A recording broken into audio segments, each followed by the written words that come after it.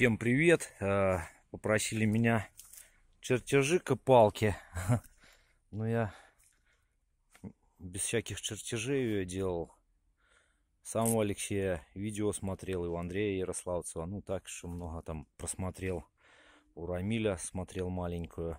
Ну, вот решил просто размеры снять. И может кому нужно будет.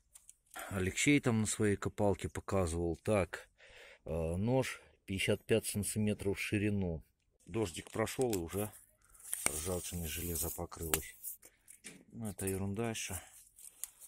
Так, ширина 55 я делал. Длина по длинному краю 34 сантиметра. А длина по короткому краю ну, 24. Тут плохо прилаживать, а вот сюда, ну здесь не видно. 24 по короткому и 34 по длинному. Дальше от края ножа до края прута 2 сантиметра, но желательно сделать больше. А я немножко обрезал, потому что в этом месте клинил транспонтер.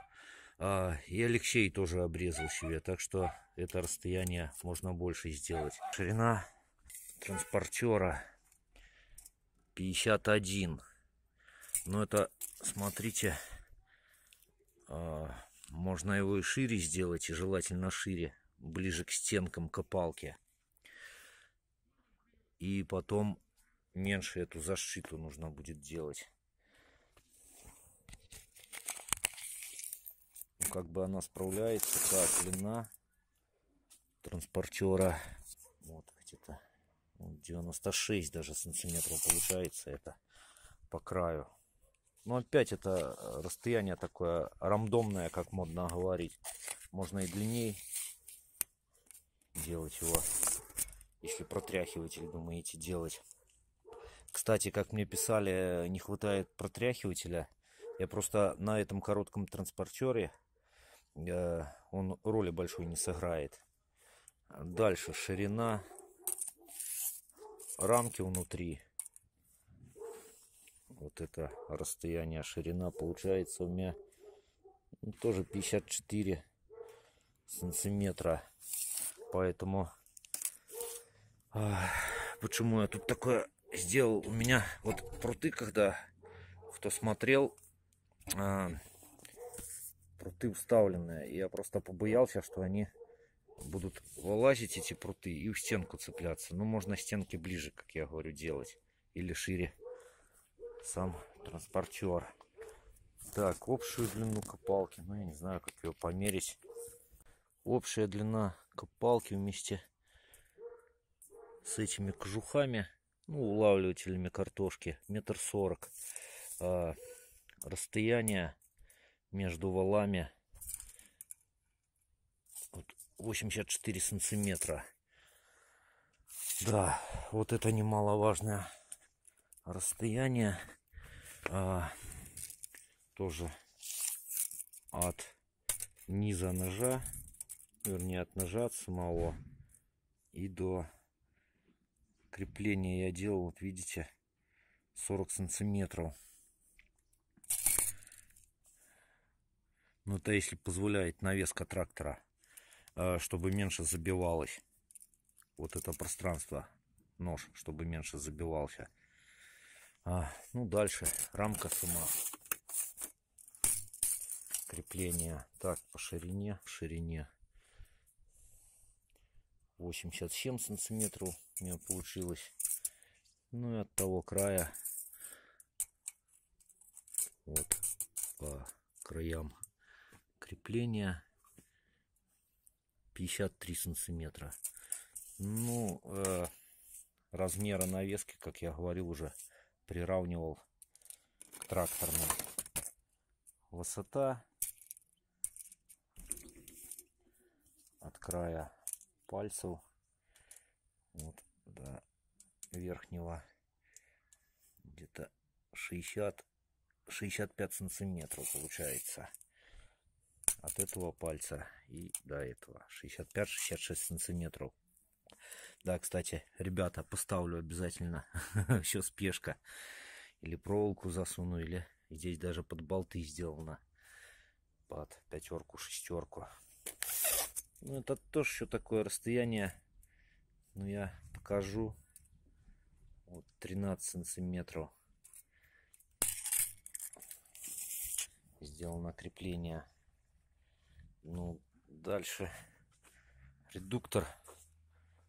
Ну, я делал, ставил его, чтобы при подъеме здесь кардан не упирался. Это тоже такое расстояние, когда начнете собирать, то самим нужно будет смотреть. Вот она постояла два дня под дождем и все начала ржаветь. Вот смотря какой редуктор. Ну, у меня до редуктора вот 28 сантиметров до края редуктора.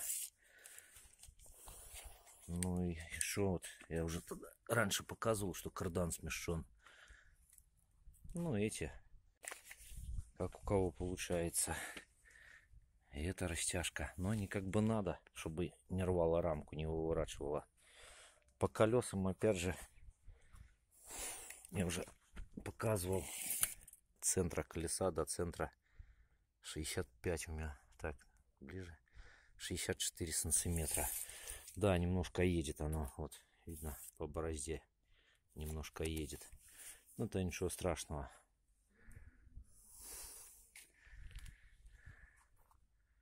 Кстати, про потери, а вот теперь они видно, когда дождик прошел.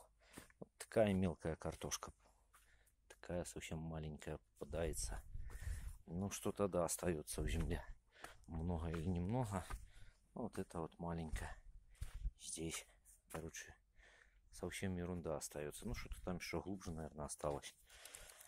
А, дальше про размер это отвлекся. Ну, колесо, если так брать от края ножа, Алексей делал, чтобы регулировалась высота, я уже сделал а, постоянное крепление, короче. Если нужно будет, придется отрезать, если перенести колесо, нужно будет так, ну сколько, 89 вот от мыса ножа, да, 89 сантиметров. Это тоже такое расстояние, нужно уже смотреть, когда соберется копалка. Ну, да, вот эта стенка. Вот она. Так, внизу здесь уголок. И вот от верха уголка до верха этого уголка 45 сантиметров. Длина от крепления вала. Здесь тоже подшипники. И здесь э, вал приварен под ножом. Вот до него получается 85 сантиметров. Здесь у меня получилось вот от уголка и до верха 30 сантиметров. И вот эта длина вот от уголка от начала. Ну, вот так вот делал. Так, сколько? 98. Здесь уголок приваривал на 73 сантиметра. Но он под наклоном так идет. Вернее, здесь под наклоном. А вот если так смотреть, почти под прямым углом. И этот под прямым углом так вот идет приварен. Ну, это усиление. Стенки боковые тоже их можно в любом месте при желании. Ну, как-то так. Что тут еще? А больше ничего и... Какие тут еще больше размеры? Ну, эти тоже... А, как они, уловители ботвы или чтобы ботва слетала. Здесь я делал, затачивал нож.